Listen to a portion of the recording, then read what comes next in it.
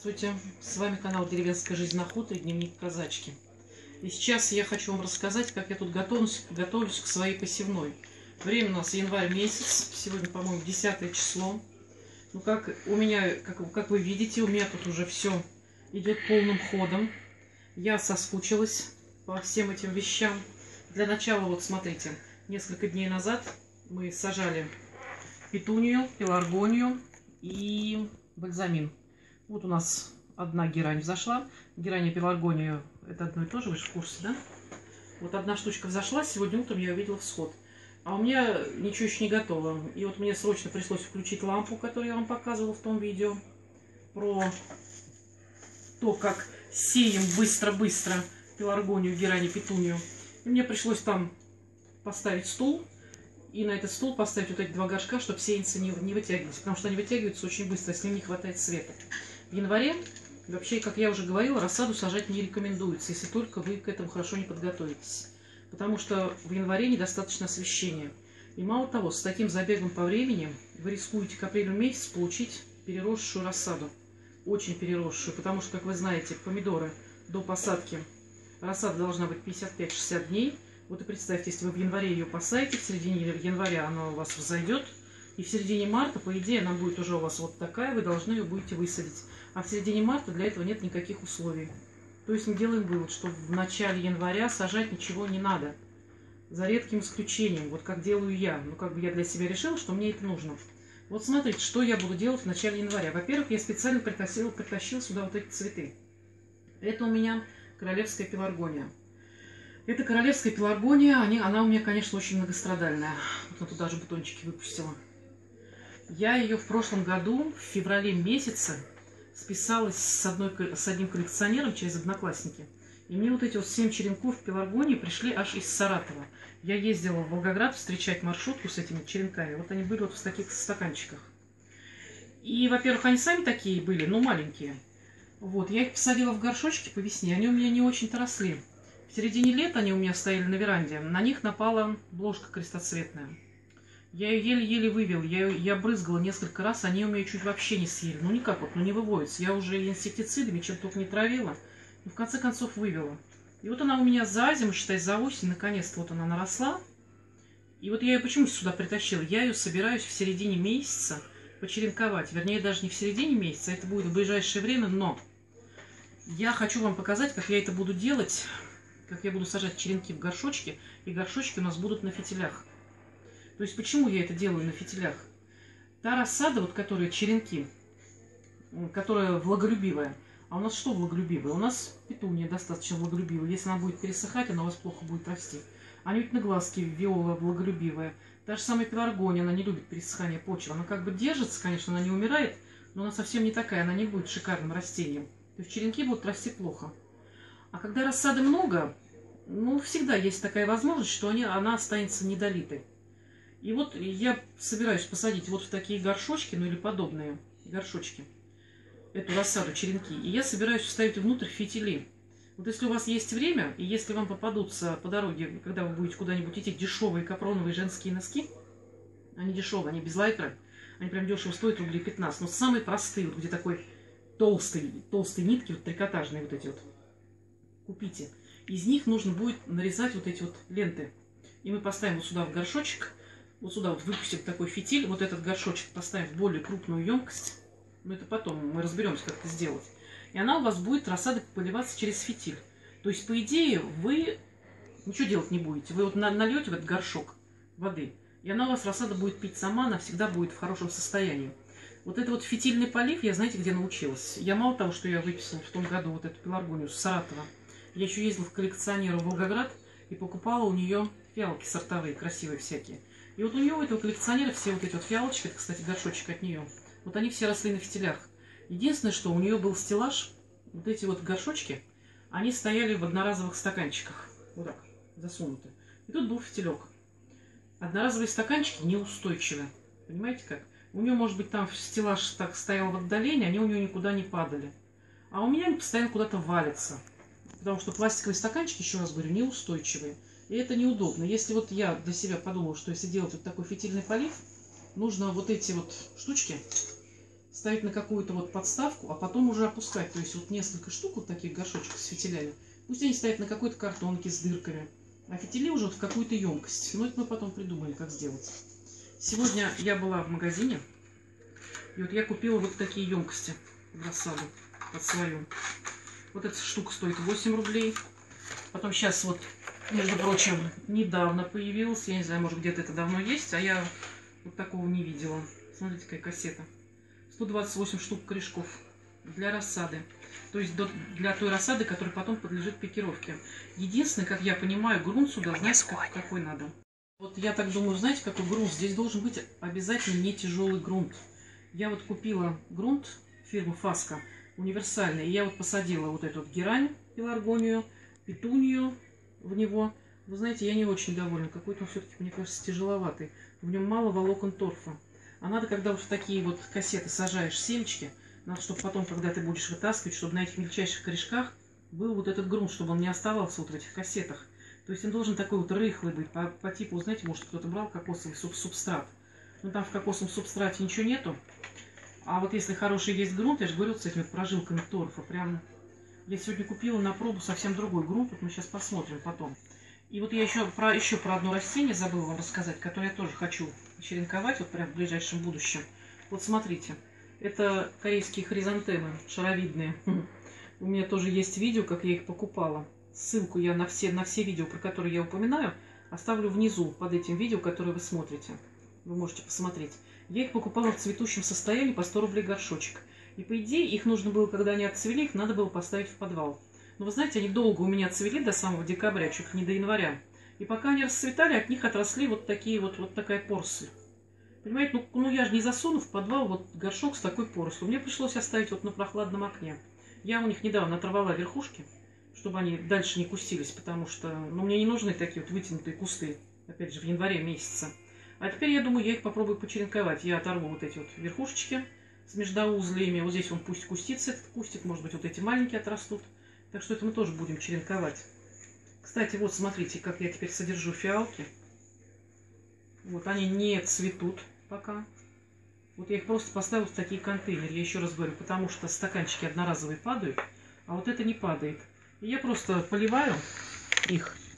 Вот там, если набирается вода, то я потом вот так переворачиваю и выливаю. Вообще это, конечно, неудобно. Фитильный полив гораздо удобнее, потому что фиалки, они очень легко пересыхают как бы вот в таком горшочке, представьте, ну, очень быстро пересыхает грунт, тем более, что здесь половина горшка занимает дренаж керамзитный. Так, ну это ладно, про черенкование это скоро будет. Как бы в середине января мы это делаем. Я, во всяком случае, собираюсь делать. А сегодня я была в магазине. Я хочу вам похвастаться, что я накупила. То что мы скоро будем сажать. Во-первых, я вот думаю, что вот в эти кассеты мы посадим помидорную рассаду, вот, которую я показывала вот помидорная роса. Но сейчас опять же сажать их рано, потому что к началу марта она уже будет большая, но как бы я не хочу посадить, а потом выкинуть. Сто с лишним корней я пристроить уже никуда не смогу. Хотя я уже приготовила лампу для подсветки, приготовила стеллажи, измерила температуру на окнах. Вот здесь сзади меня окно, на нем 15 градусов. И выходит она на север, то есть здесь подсветка строго обязательно. Есть еще окна, которые вот выходят туда на юг, там, естественно, температура теплее, там тоже будет подсветка. Ну, в общем, я могу переставлять саженцы попрохладнее или потеплее. Я могу им выбирать режим, который у них будет. Вот смотрите, во-первых, я купила петунию в розовых тонах. Мне очень нравится. Вот. Мы ее тоже будем сажать прямо в ближайшем будущем. Вот эта петуния Валентина, я ее сажаю каждый год. Но вы знаете, за редким исключением я бросила сажать рассаду, как бы выращивать потому что мне некогда, некогда, и я вот в этом году собираюсь опять этим заняться. У меня уже мои домашние сказали, о, ты опять понтащил всех кассет. Как бы я все это могу, но так как у нас хозяйство, я это забросила. Дошло дело до того, что я предпочитаю купить, вот не возиться вот с этим совсем, а по весне я покупаю. Вот я также купила ромашку аптечную, потому что, вы помните, я сажала просроченную ромашку. Но думаю, вдруг она не взойдет, а я уже настроилась, что она у меня на огороде должна быть. И вот я купила нормальную ромашку, тоже посеем. Потом мне кто-то, значит, посоветовал эустому. Вы знаете, я ее выращивала, эустому. Я не люблю вот такие цветы долгоиграющие. Потому что она эустома, ее посадишь, и она на месте стоит, ну, прям буквально несколько месяцев. Уж очень медленно она нарастает. Не знаю, но я ее, конечно, посажу, потому что цветок все-таки красивый. Но вообще я так не особо люблю. Вот. И я вообще, я вот лично больше люблю многолетники. Как бы, ну хорошо, когда этих эустом много. Или в каком-то таком одном месте одно растение, но не смотрится. Надо, чтобы была какая-то полянка. Понимаете как? А так как у меня есть королевские ирисы, там всякие гофрированные, очень красивые. Лилии, много роз. Понимаете, вот эти вот однолетники, я просто не, не знаю, куда их приткнуть. Но это не значит, что их не надо выращивать. Я вот единственное, я очень люблю лобелию. Я вот даже думаю, вот в эти кассеты, которые я показывала, где 28 штук, возможно, я посажу лобелию, потому что вот как, когда предлагают их пересаживать пучками, ну вы знаете, как она всходит, она всходит вообще как крест-салат. У нее такие нежные, дохленькие кустики, что вот так по одному его взять и воткнуть куда-то, вот пересадить, ну, в принципе, проблематично. И вот везде рекомендуют, говорят, вы пересаживаете их пачками, прямо вот так пучок берите и сажайте. Но я вот не люблю сажать пучками, потому что все равно там будут растения среди них ослабленные. И вот надо вот среди этого пучочка, как бы если он сидит слишком густо, нужно выбрать одно растение, которое более-менее покрепче, и вот посадить. А если сразу, я так думаю, посадить вот в такие кассеты, то, естественно, они уже не будут загущены. И как бы она тоже очень медленно нарастает, вот лобелия, и она не слишком кустится, то есть она вот в этих кассетах, она друг друга затенять не должна. Я может быть, для этого ее использую. То есть сейчас в январе я посажу лобелию. Она у меня месяц-полтора прорастет. Здесь к тому времени, как ее придется пикировать, я ее отсюда удалю и буду использовать эту кассету второй раз, например, под помидоры или под перец. Вот, еще сегодня я купила вот такие маргаритки. Маргаритки я тоже очень люблю, но у нас их нет. Нигде они не растут, потому что у нас сухо. Я, знаете, видела, где мы в 90-х годах жили в Одессе целых два года. И вот там у них Аркадия, пляж Аркадия, там высажены были ранней весной вот эти маргаритки. Это было так красиво, цветущее. Я вот не знаю, мне вот это запало. Вообще Одесса очень красивый, красивый город. Он такой солнечный, мне он очень нравится. Если кто-то смотрит, привет Одессе. Вот. И вот с тех пор, как вот эти маргаритки запали в душу, хотя у нас здесь вот они не растут, у нас сухо. Вы же понимаете, Волгоградская область, ну, здесь не условия для маргариток. У нас хорошо петуния растет, потому что она неприхотливая у нас хорошо бархатцы всякие растут. Вот. И, короче, я пробовала выращивать маргаритку. Если вы хотите получить цветущие растения, растения вот к весне, к этой весне, вы должны сажать ее сейчас, сеять. Но нужно предусмотреть, потому что она очень наращивает вот эту вот свою зеленую массу листьев. У нее очень такая вот хорошая корневая система. То есть я вот как сейчас помню, у меня была петуния рассажена в таких горшках, и была вот эта маргаритка. Поливала я их как бы, ну, по регулярности одинаково. И маргаритка все время пересыхала, у нее листья вот эти подвидали. И она к моменту, вот, наверное, ну, я не знаю, к маю месяцу, она вполне у вас куст займет, вот один куст займет, вот такой горшок, он вполне может занять. Тут будет такая богатая розетка листьев, будет много цветочков. Если вот вы хотите это получить, ее нужно сажать именно сейчас и мучиться. Вот это время, пока, пока как бы нужна подсветка, нужно все вот это, нужно с ней, конечно, уделить ей большое внимание. Еще я сегодня купил флокс. Вот такой. Однолетний. Опять же, знаете, у меня у бабушки были флоксы многолетние. Я никак не могу их у себя развести, потому что, опять же, флоксы... Для флоксов у нас слишком сухо. Им нужно создавать специальные условия, чему, к чему я вот не всегда готова, потому что мне не хватает на это времени. И еще просто мне понравился цикламен я попробую посадить цикламен. А это тоже, знаете, как в память, когда мы жили в городе, у нас были цикламены, а сейчас у меня их нету. Вот я попробую вырастить из себя. Лобелия, знаете, чем мне нравится лобелия? Я ее вообще обожаю. Но мне нравится именно не ампельная, а вот кустовая лобелия. Я специально выискивала сегодня такая, чтобы она была набивная, вот в ней 20 сантиметров высота. Она очень хорошо создает фон вот для тех же самых роз.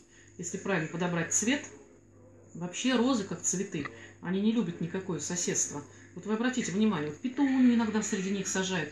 Петуния для роз слишком проста. Ей, вот и под розу очень тяжело подобрать партнера. А вот лобеля, если как бы под цвет оттеняет, но она так более-менее неплохо смотрится.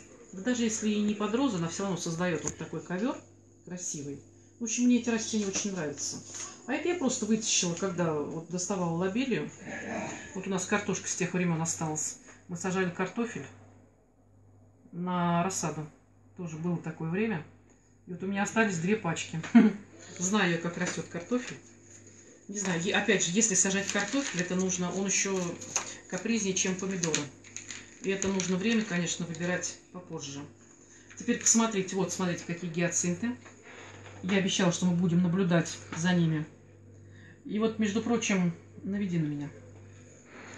Вот здесь среди гиацинтов, я же говорила, я тут сажала тюль, тюльпаны и тюльпаны, ой, и крокусы. Тяжелый, конечно, коробок, потому что здесь земля с огорода в перемешку с торфосмесью. И вот представляете, выросла вот эта вот штука. Я все время думала, что же за такой тюльпан с такими листьями. Как-то на тюльпан он не похож. Пока сегодня не зашел, не зашел мой муж и не сказал, говорит, ты зачем говорит, сюда чеснок воткнула? Представляете, я оторвала кончик листика, и оказалось, что это и правда чеснок. Видимо, та земля, которая попала в огороды, может быть, здесь была семечка чеснока, вот эта бульбочка. Ну, всего среди моих этих растет чеснок, среди моих гиацинтов. И вот такая у меня зимняя клумба с чесноком. На этом я с вами прощаюсь. В следующий раз я вам покажу, как мы посадим вот эти все семена, которые я купила. Как мы сделаем фитили на наши горшочки. Кстати, сегодня там продавались еще торфяные горшочки, но вот я лично их не люблю. Мне кажется, они все равно плохо размокают от влаги, когда вот сажаешь это растение в грунт в этом горшочке. Очень тяжело он размокает. И я вот предпочитаю лучше, вот я в контейнер буду сажать, а горшки я не люблю. До свидания.